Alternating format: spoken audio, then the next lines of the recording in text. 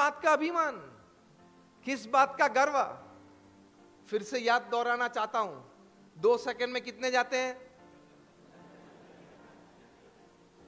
याद कराना पड़ता है। दो सेकंड में तीन चले जाते हैं। और दूसरे वाक्य मैंने क्या कहा था? संगमनेर पे फोकस कर दिया तो। मुझे बताया राजेश जी ने कि साठ सत्तर हज़ार की यहाँ पॉपुलेशन पूरी है तो तो वो तो दस घंटे की बात हो जाती है। किस बात का अभिमान? We are not even a speck of dust in the existence of this entire universe ये पूरे ब्रह्मांड में हमारा अस्तित्व एक स्पैक ऑफ़ द डस्ट मतलब धूली का एक रचकन भी नहीं है। किस बात का अभिमान करना? अपनी बुद्धि का आप अभिमान करते हो, एक स्क्रू यहाँ भगवान ने कम कर दिया तो? संगमदर में रेलवे स्टेशन है। नहीं है? बस स्टैंड बस स्टैंड तो होगा। हाँ बस स्टैंड तो है। हाँ और रेलवे स्टेशन की ज़िम्मेदारी मालपानी परिवार की है। आज ये प्रसंग में हम शुभ संकल्प करते हैं, वो भी आ जाएगा। तो बस स्टैंड है, एक स्क्रू ढीला हो जाएगा तो आप बस स्टैंड पे एक छोटा सा बाउल लेके वहाँ भीख मांगना चालू कर देगा। You will start doing it भीख मांगना आप चालू कर देंगे। पागल हो जाओगे। मतलब किसी भी बात का अभिमान जीवन में नहीं होना चाहिए। धन का अभिमान नहीं, कोई वैभव का अभिमान नहीं, बुद्धिमत्ता का अभिमान नहीं, शिक्षण का अभिमान नहीं, कोई कला का अभिमान नहीं। अभिमान नहीं रखेंगे, वो एटीट्यूड नहीं रखेंगे तो सभी के साथ नम्रता से, विवेक से आप पेश आ सकेंगे और आपके संबंध उनके साथ बढ़िया रहेंगे, मधुर रहेंगे और आपकी प्रगति और तरक्की का कारण वो संबंध बन जाएँगे। सभी को हाथ जोड़ना, सभी के साथ प्रेम से रहते हैं। चलो किसी के साथ स्वभाव के, स्वभाव की वास्तविकता से अगर न ठीक चला तो वो अपने आप में ठीक है, हम अपने आप में ठीक हैं। लेकिन उसका अवगुण बोलना, उसके बारे में बुरी बातें करना, वो हमारी खानदानी नहीं है। That is not human dignity कि किसी के साथ नहीं जमा अगर तो कम संबंध रखना। वो अपनी दुनिया में है, मैं अपनी दुनिया में हूँ। लेकिन उसकी चर्चा करना, उसके बारे में बोलना, और आपका गाँव तो छोटा है, यहाँ तो कोई भी बात सुबह में बोलेंगे, शाम तक पूरे गाँव में आप हंसे मतलब बात तो सही है ना? ये मुंबई पुणे तो है नहीं, कि महीने तक पता नहीं चलता है कि कौन मरा, कौन पैदा हुआ। ये तो छोटा सा है। सुबह में कुछ बात चली तो शाम तक तो घर घर पहुँच जाएगी। तो ये नम्रता और विवेक में ये बात नहीं आती। प्रमुख स्वामी महाराज ने सिर्फ़ ये लिखा ऐसी बात नहीं, उनके जीवन में, वर्तन में हमने देखा है। दिल्ली में अक्षरधाम आपने देखा 110 एकड़ ज़मीन पे यमुना के किनारे, दिल्ली में पाँच साल में प्रमुख स्वामी महाराज ने यह प्रोजेक्ट पूरा किया। विशाल ज़मीन है तीन बड़ी प्रदर्शनी है। अगर प्रमुख स्वामी महाराज चाहते तो चौथी भी खड़ी हो सकती थी। अचीवमेंट्स ऑफ़ प्रमुख स्वामी महाराज। प्रदेश में, अमेरिका में उनको 40 की टू द सिटी मिली है। लंदन की पार्लियामेंट में उनका स्टैंडिंग ओवेशन के साथ सम्मान हुआ है। कनाडा की पार्लियामेंट में स्टैंडिंग ओवेशन के साथ सम्मान हुआ है। केनिया की पार्लियामेंट में हुआ है। बड़े बड़े अंतरराष्ट्रीय, राष्ट्रीय और राज्य कक्षा के सम्मान उनको प्राप्त हुए हैं। वो कोई बात आप दिल्ली अक्षरधाम में प्रदर्शनी में नहीं देखेंगे। अगर वे चाहते तो 40 की टू द सिटी लगा के एक बड़ा प्रदर्शन नहीं कर सकते थे। 110 एकड़ ज़मीन है।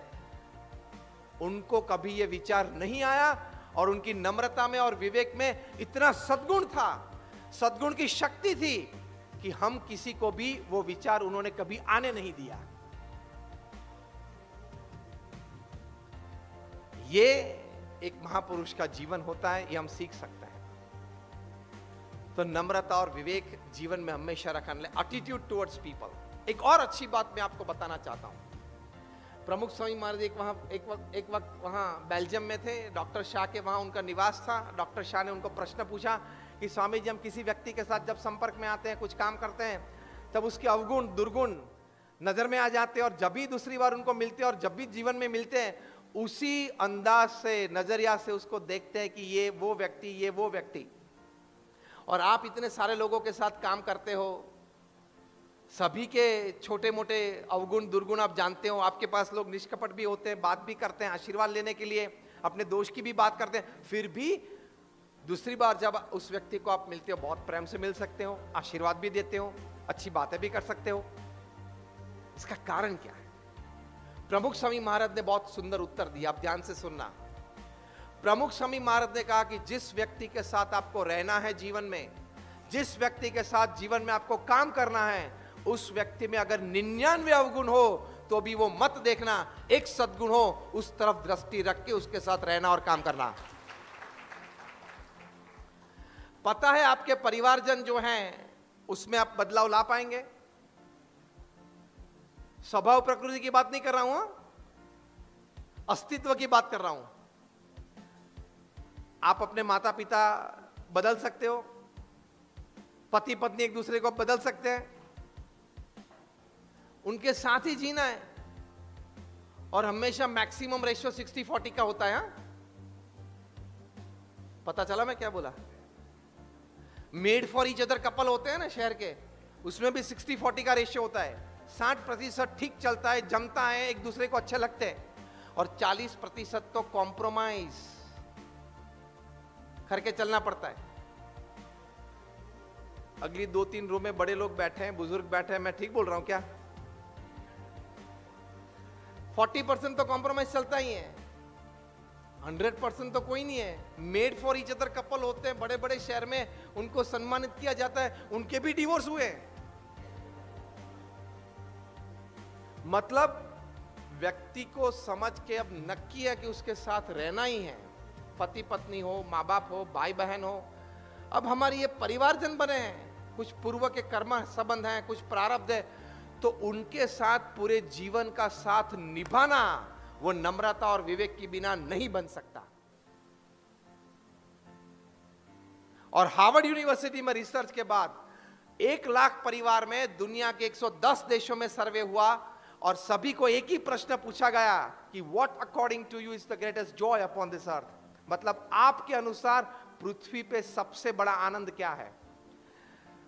सैसठ प्रतिशत लोगों ने यह बताया कि पारिवारिक जीवन, जिस परिवारजन के साथ हम रहते हैं, जिस परिवारजन के प्रति हमें प्रेम और आदर है, और उस परिवारजन को हमारे प्रति प्रेम और आदर है, उनके साथ समय बिताना, बैठना, बातें करना, संबंध रखना, उससे बड़ा कोई आनंद इस पृथ्वी पे नहीं है। तो वो बड़ा जो सबसे आनंद है वो लेने के लिए आपको परिवार में नम्रता और विवेक के साथ रहना पड़ेगा। आप ये मत मानना कि मैं मैं ब्रेड विनर हूँ अपने परिवार का।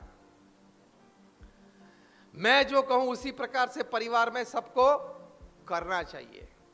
परिवार में कोई भी चर्चा हो, लेकिन अंतिम निर्णय मेरा ही होना चाहिए। ये अभिगम से परिवार में मत रहना, क्योंकि मैं बड़ा हूँ, आयु में बड़ा हूँ, सबसे ज़्यादा पैसा लेके आता हूँ, सभी को मुझे रिस्पेक्ट देना चाहिए। नो एवरीमैन्स मिशन नाम का एक पुस्तक है, उसमें रेबेका बियर लिखती है, एक लेखिका, बहुत अच्छी बात लिखती है।